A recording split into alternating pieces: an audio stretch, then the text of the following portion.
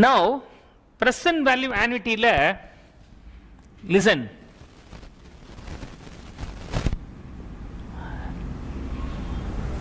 Every period end நம்ம B amount invest பண்ணிட்டே போகிறோம்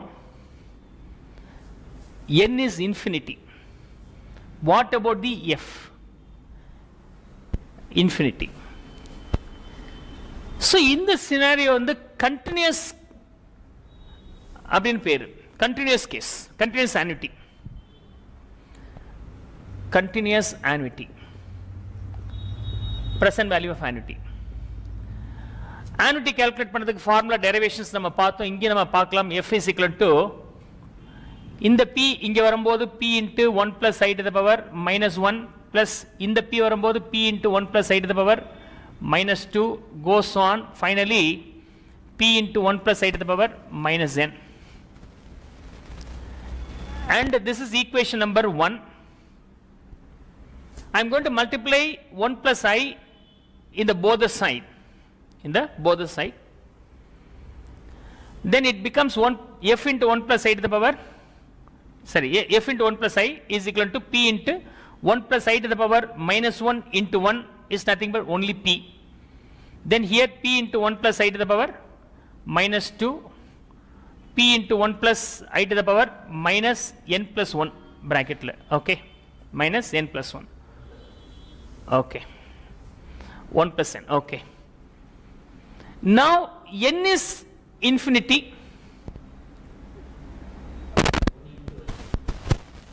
ah okay multiplied with 1 plus i sorry multiplied by 1 plus i இது n வந்து நமக்கு இன்ஃபினிட்டியா இருக்கு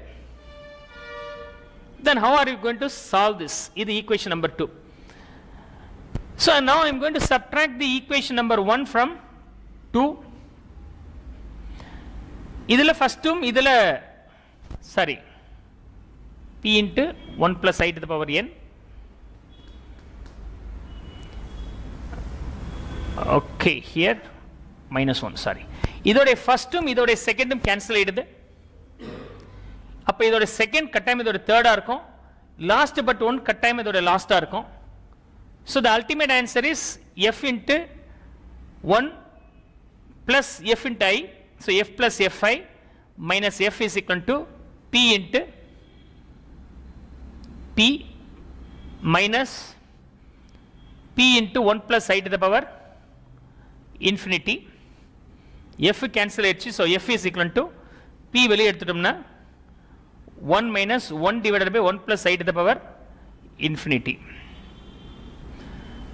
1 divided by 1 plus i to the power infinity நீங்க போட்டீங்கன்னா this becomes 0 okay it becomes 0 so for example ஒரு i being 20% வச்சுக்கலாம் அப்ப இந்த ஃபேக்டர் மட்டும் யூஸ் பண்ணி பார்க்கிறேன் 1 divided by 1.2 divided by one divide by one divided by 1 divided by 1.2 போட்டீங்கன்னா present த்ரீ 0.833 ஃபர்ஸ்ட் இயருக்கு இதை நீங்கள் ஈக்குவல் பண்ணிட்டே போனீங்கன்னா அரௌண்ட் ஒரு ஸோ நான் ஈக்குவல் பண்ணிட்டே போகிறேன் அரௌண்ட் ஒரு ஃபார்ட்டி ஃபைவ் ஃபிஃப்டி எல்லாம் வரும்போது பாயிண்ட் ஜீரோ ஜீரோ ஜீரோ நாலு டிஜிட் பாயிண்ட் வந்துருச்சு. ஹண்ட்ரட் போகும்போது it becomes point zero zero ஜீரோவாக போயிடுது. Okay So at the time of reaching by 100 and something, 100 and something, it is completely zero. It is completely zero. 135 is zero. Infinity is the largest number. Though how small i may be, if you are dividing that 1 by that smallest number for infinity period, it becomes 0 or disappears. Or disappears. fi is equal to p. அப்ப fi is equal to p will be the c- final answer. Otherwise, i is equal to p divided by f.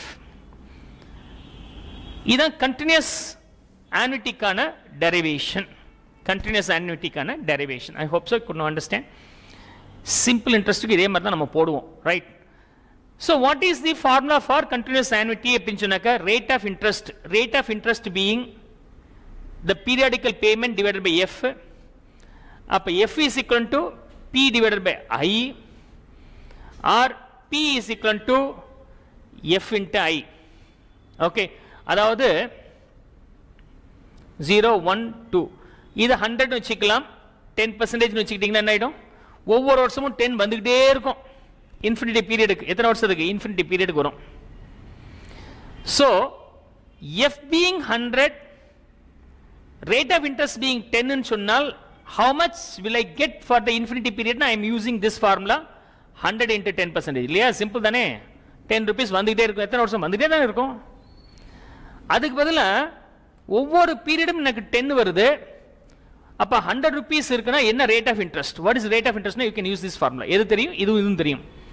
அப்போ ஒவ்வொரு பீரியடும் பத்து ரூபா வருது. நீங்கள் போட்ட நூறுரூபாக்குன்னா what is rate of interest they are offering அப்படின்னு சொன்னாக்க zero point one otherwise ten percentage